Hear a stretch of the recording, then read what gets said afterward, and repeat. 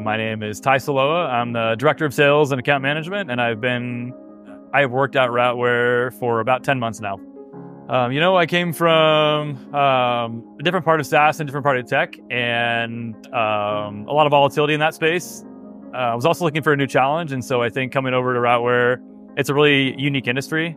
Um, the people are great. I really love the people here, and um, there's a lot of like really interesting challenges to solve too in this industry.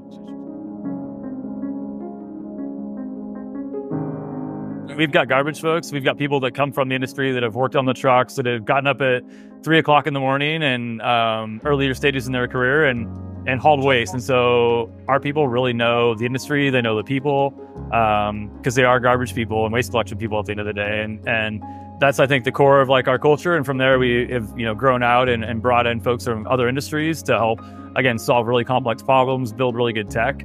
And uh, that's where I think like our people are our greatest asset here at Routeware.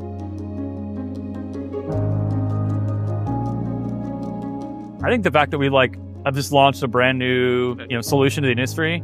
This is the next generation of waste collection. It's really exciting. You can see how excited customers are, um, others, waste haulers that are coming by municipalities. And so this, I think, is going to help take waste collection to the next stage or next iteration of where it needs to go, just like you've seen it in a lot of other industries. And so like that gets me really, really excited because uh, we've got real problems uh, to solve in this industry, both operational, both environmental. And so having the ability to make an impact um, on the environment, make an impact on the world, and also make an impact on the operations of our customers, uh, that's really exciting for me.